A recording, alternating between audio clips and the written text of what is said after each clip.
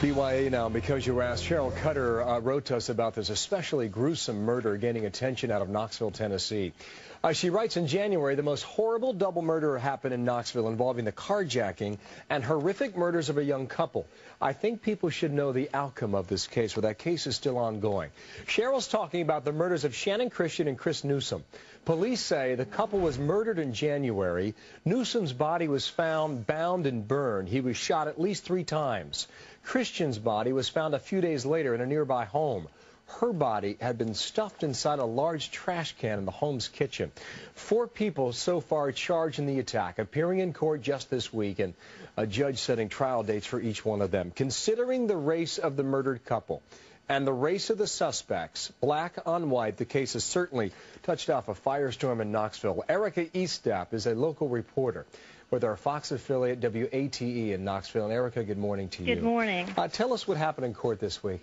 Well, basically, the, the prosecutors are still considering and waiting for evidence from the crime lab to return, and that's crime lab in Nashville. Right now, they say they are considering the death penalty in this case, but they have to wait for that evidence to come back. So trial will not start the first trial until next year in May all of the suspects will be tried separately. Yeah, how good are the prosecutors saying their evidence is? They believe they have really strong evidence. They have uh, DNA from the crime scene. They have fingerprints of one of the suspects in Channon Christian's car.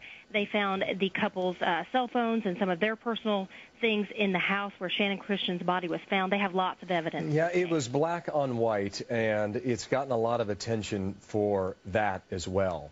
Um, do prosecutors believe this was a hate crime? You know, they're not giving us any sense of whether or not they believe it is a hate crime. Um, police originally told us that they believe this was just a crime of opportunity.